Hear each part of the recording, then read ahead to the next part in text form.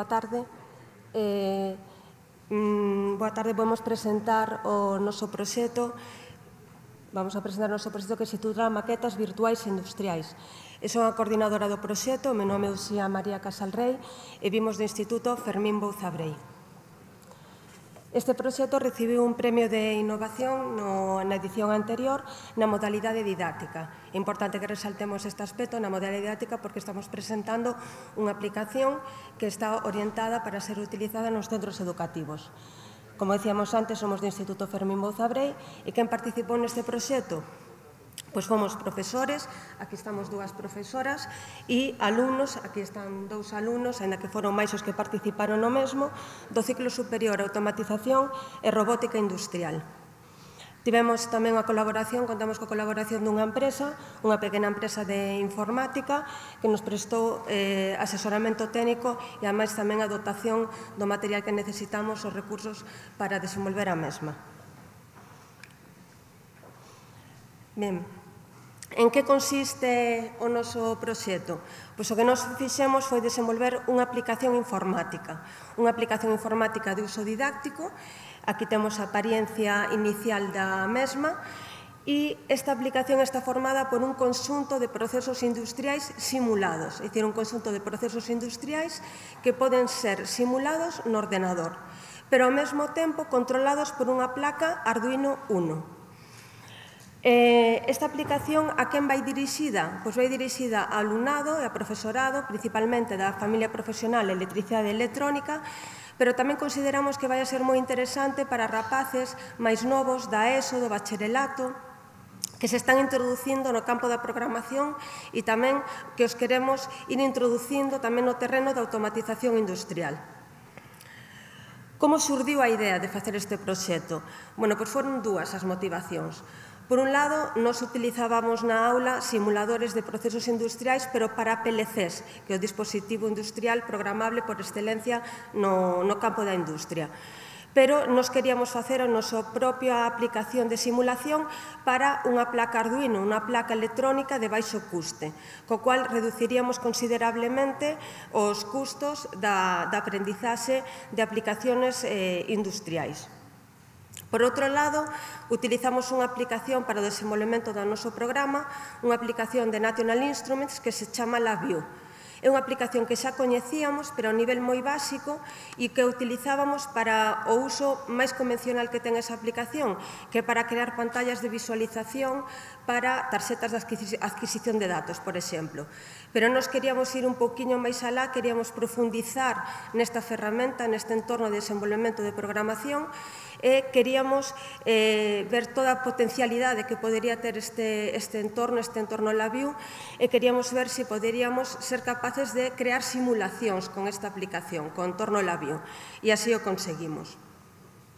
Bueno, nesta apariencia inicial da aplicación, o que vemos aí, aparte dunha pantalla de inicio cos logotipos, pois vemos unha serie de pestanas que, premendo en cada unha delas, podemos acceder a cada un dos procesos industriais simulados que, eh, que poderemos executar no noso ordenador e simplemente con ter conectado unha placa de Arduino 1 poderemos probar. Ora vou dar, vou dar paso a Roberto, que vai a continuar a, a presentación. Bueno, pois eu vou vos comentar un pouco de primeira escala e a finalidade desta, desta aplicación, pois como podedes ver aí, é simular procesos industriais nun PC, estes procesos, a súa vez, eh, o seu funcionamento automático é controlado por unha placa eh, Arduino Uno, como ben dixo o o material que necesitamos para, para pôr en marcha esta aplicación simplemente é a, a aplicación que nos desenrolamos, que é Mecutedino, de momento está desenrolada só para Windows, é unha placa Arduino, que é unha placa de baixo, de baixo custo. Bueno, dicir un pouco as vantaxes que, que ofrece Mecutedino. A primeira é máis importante para, para nós é a forra de material nos centros, sobre todo, porque os procesos son simulados, non, non requiren montaxe, non requiren un custo a nivel de material, entonces o aforro de material, pois ese custo pois, é o máis importante. Tamén temos o aforro de tempo, non ter que realizar esa montaxe, só os programas Sketch para Arduinos, que son os sketch de Arduino son donde nos eh, damos unha, plan, unha plantilla donde o usuario ten que programar as diferentes, as diferentes simulacións que quer realizar en cada maqueta. Despois, a motivación do alumnado tamén é unha ventaxe porque a aplicación é moi visual, o alumnado non ten por que non ten por que estar imaginando un proceso industrial abstracto nin nin, nin, nin ningún estilo así porque xa o ven na pantalla do seu, do seu PC. E por último, a mobilidade tamén é unha vantaxe xa que se pode, podes usar na aula ou na casa, simplemente tens que ter un PC ca aplicación que nos desenrolamos descargada e unha plaquiña de Arduino. Bueno, aí a seguinte, na seguinte diapositiva, como podemos ver, é a diferencia que hai entre un proceso real e un proceso simulado que, que se encontra na nosa aplicación. Na imaxe da esquerda vemos unha pequena maqueta que, que temos no, no stand exposta aí en, no, no centro, que é unha maqueta de control de, de fluidos entre dous, entre dous de, depósitos, E á dereita vemos o que sería o panel que, que, que o usuario pode ver, se descarga a aplicación e como vemos a diferencia é que na imaxe da esquerda requirse todo ese material e tamén ese espacio, na dereita que a aplicación podese ver a, a simulación virtual do proceso.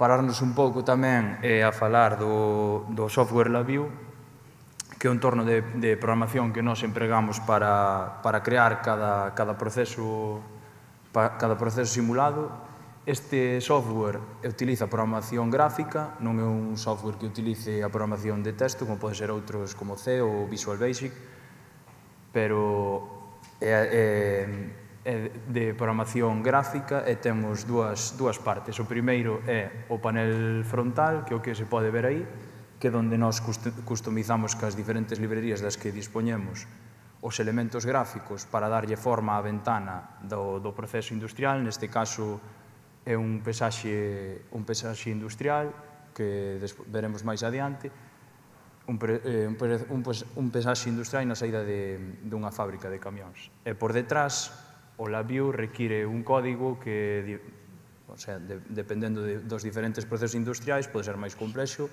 ou menos que nós programamos, este é o trasfondo do traballo que de verdad ten a nosa aplicación. Este código decir que é o que leva a aplicación por atrás, o usuario non ten porque non, non, nin o vai a ver, nin o ten que tocar, simplemente o usuario vai a programar no sketch de Arduino, en lifa base. Despois, pois vamos a, a ensinarnos un pouco as diferentes maquetas ou procesos que, dos que, dos que dispoñemos. Hai nos máis simples, como pode ser o control de, o control de, de, de, de luminosidade de tres bombillas que temos aí. Isto é bastante sinxelo a nivel de programación en LabVIEW, pero que a un usuario que empece a programar Arduino, en Sketch de Arduino, isto dalle moito xogo, porque se pode podese facer infinidade cun pulsador e tres luces, infinidade de, de, de, de combinacións. Perdón. E despois, pois ver un pouco algunha máis complexa, como pode ser unha cinta transportadora, un taladro de columna coas súas diferentes partes móviles que se ven na simulación, os seus detectores e actuadores. Outra pode ser pois, arranques de, de motores que xa non tendríamos a necesidade de ter na, nas aulas pois, os cuadros e, e os motores físicamente, senón que con esta aplicación podemos simular este tipo de, de procesos. Outro máis complexo, unha mezcladora de líquidos, por exemplo, un tanque para, para un control todo nada, ou, como vimos antes, unha, unha pesadora industrial.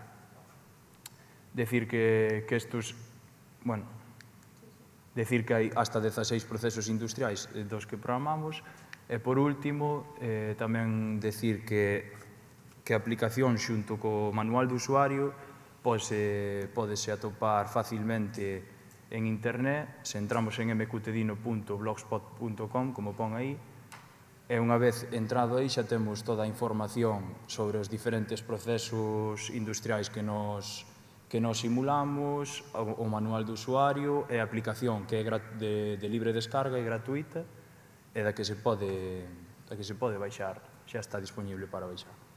Así que nada máis, non? Nada máis. Moitas gracias bueno, e esperamos vos no, no sí. stand. Simplemente decir engadir que está é un proxecto que sigue aberto no sentido de que futuros profesores ou futuros alumnos poderán continuar participando dela aportando melloras ou ampliacións do mesmo e nada máis, pois agradecer a vosa asistencia. Gracias.